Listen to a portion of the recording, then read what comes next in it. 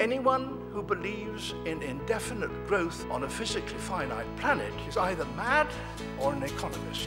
We don't want to focus politics on a notion that involves the rejection of principles around which a large majority of our fellow citizens organize their lives. We are not as endlessly manipulable and as predictable as you would think.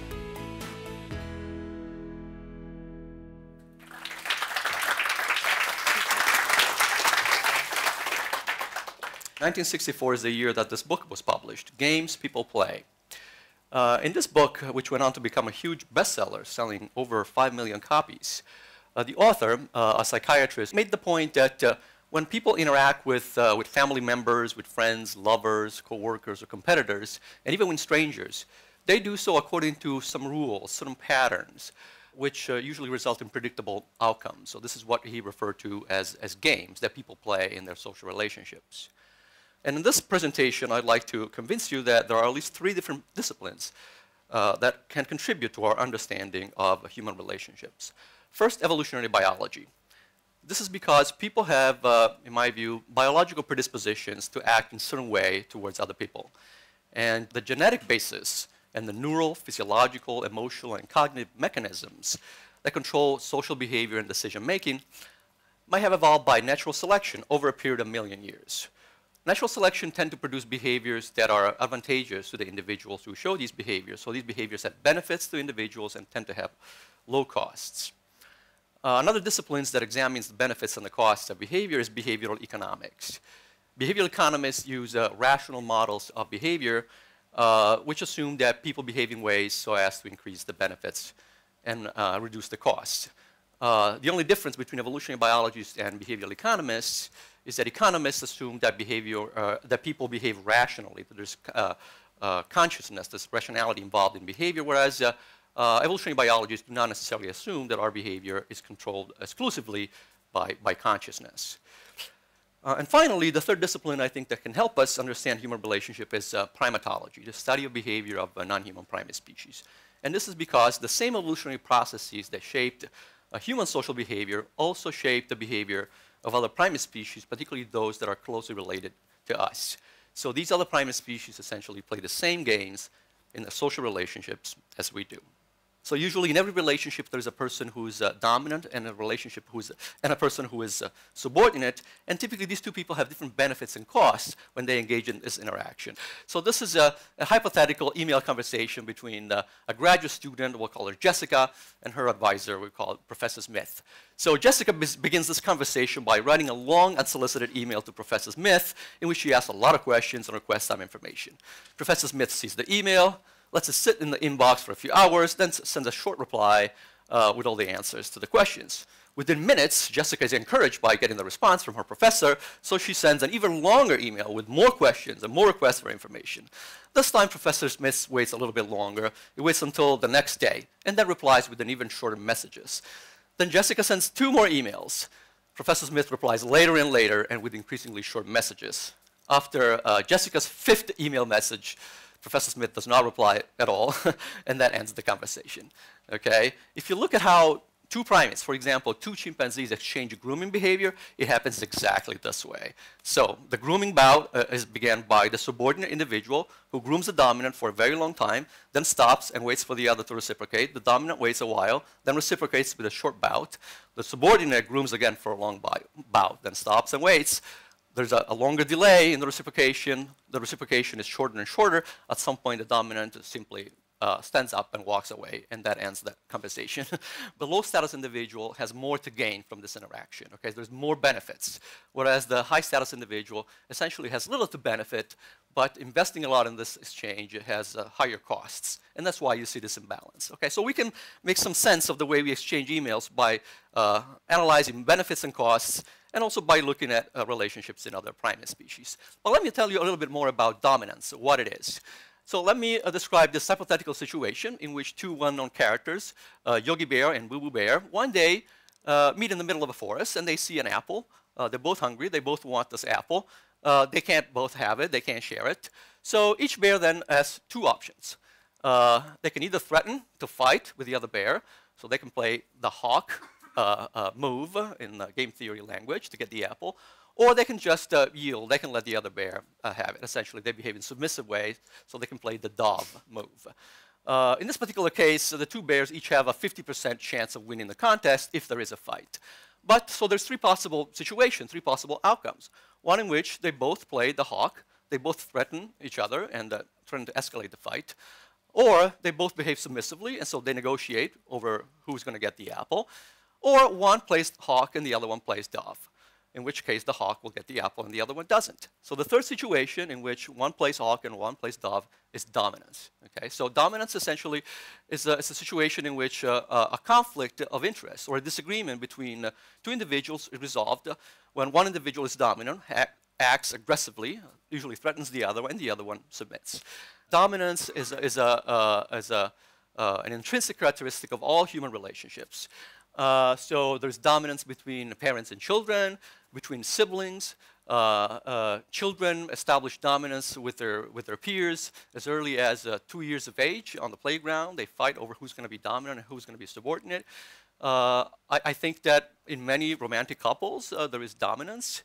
Uh, in some cases, it's not as clear, but uh, uh, when couples are stable, usually it's because there is a clear difference in uh, who makes the decision and who doesn't. And finally, uh, dominance is also uh, an important characteristic of relationships in the workplace. So there's dominance between employers and employees.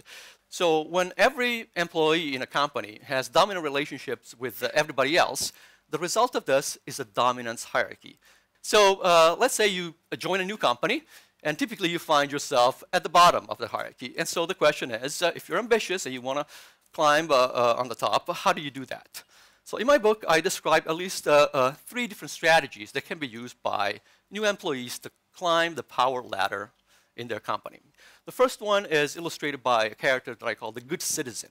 Okay, this is somebody who uh, uh, is a very friendly person and behaves very submissively and smiles all the time and will attend every business meetings, essentially say yes to any request for extra work that the boss might make to this person.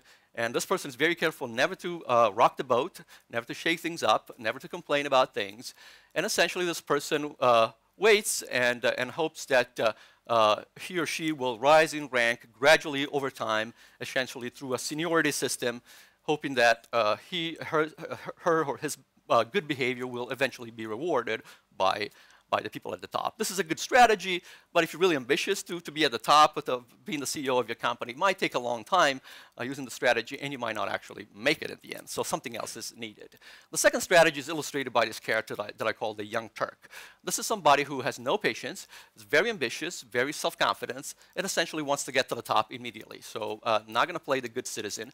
Uh, he identifies who the people at the top are and essentially challenges these people right away in some way to try and essentially take their place.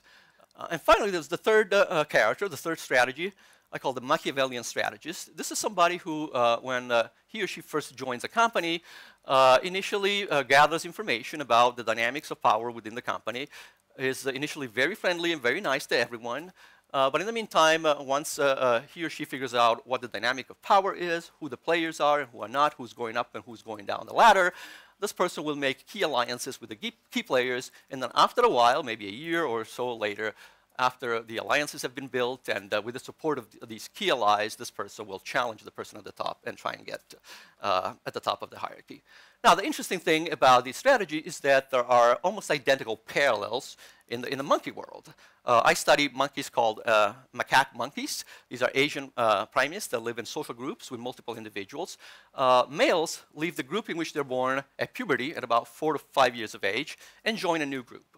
When they join a new group, essentially, they would like to climb the, uh, the hierarchy and become the alpha male, and they can do so in three, different in three different ways. The first one is the equivalent of the good citizen.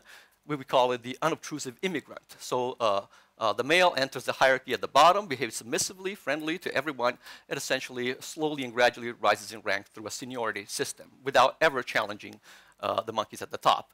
The challenger immigrant instead uh, picks the fight the first day uh, immediately challenges the alpha male in the group the first day he joins the group. And if he's successful, he will defeat this male uh, in a fight and become the alpha male on day one. The challenger resident is the equivalent of the Machiavellian strategies. This monkey will make alliances, will establish good social relationships, will create a base of support, and eventually will challenge uh, the alpha male maybe months or years later. So the question is, why do do these three different strategies exist? There are two evolutionary principles that explain why uh, there are similarities between humans and uh, other primates with regard to social behavior. One uh, is an evolutionary process called convergent evolution. So this is a process uh, uh, by which organisms that deal with similar social problems often come up independently with similar solutions to these problems. Okay, so we humans and other primates have to deal with many social problems uh, that arise from the fact that we, we live in highly complex and competitive social societies. The problems tend to be the same, the solutions tend to be the same as well. There's another process uh, called phylogenetic inheritance, uh, and that is the notion that the closely related species sometimes inherit the same behavioral traits from their common ancestors. So primate species that are very closely related to us, such as chimpanzees or other apes, uh, have similarities in behavior that derive from the fact that we share ancestors with these other primates about five to six millions of years ago. And so this is an illustration of uh, patterns of behavior such as the smile that are closely uh, similar and that are inherited from a common ancestor. So this is a rhesus monkey showing a fear grin, the equivalent of a smile, a chimpanzee, and a human being. There's a chapter called Cooperate in the Spotlight, Compete in the Dark. That, to me, is slightly counterintuitive. As a psychologist myself, I would have thought it was the other way around. Do you want to explain a little bit about that particular theory? Yes, uh, I, I, begin this chapter with an experiment done at the University of Newcastle here in the UK in the psychology department, where people uh, in this department uh, uh make themselves coffee and tea every day, and they put uh, coins in a, in a, box. And it turns out that uh, a psychologist did an experiment where for one week there was an image of two eyes on, on the cabinet facing the, the person who was making coffee, and on the following week, the, the, there was an image of flowers. And so the images alternated. One week there were eyes, and one week there were flowers. It turns out when there were eyes on the floor, uh, on, the, uh, on the picture, people put a lot more money in the box. They paid more for their coffee and tea than if there were flowers. So why is that?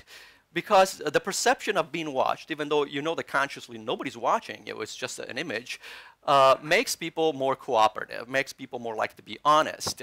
So people unconsciously think that if somebody's watching, they need to behave. Uh, they establish a good reputation if they behave, and uh, if they get caught while somebody is watching, the cost, the price can be really high. So cooperating in the spotlight refers to the fact that many experiments have shown that uh, uh, if you have a game of cooperation and the identity of the players are known, then people are more likely to cooperate. Whereas in a condition of anonymity, where identities are not known, people are less likely to cooperate and more likely to be competitive. And this is what I refer to when I say compete in the dark. Do you think all aspects of human behavior can be explained by our evolutionary background, things like aggression and violence? Biology is not destiny. There's nothing deterministic about evolution or, or biology. If these influences, if these predispositions exist, I think it's important to know about them. I think knowledge is always important, but that doesn't mean that we can't change behavior. So we decide what behavior is uh, appropriate, what behavior is acceptable. We have social rules, we have moral rules, we have laws. And so if these rules and laws happen to be against our biological propensities, that's perfectly fine to try and inhibit or suppress these propensities.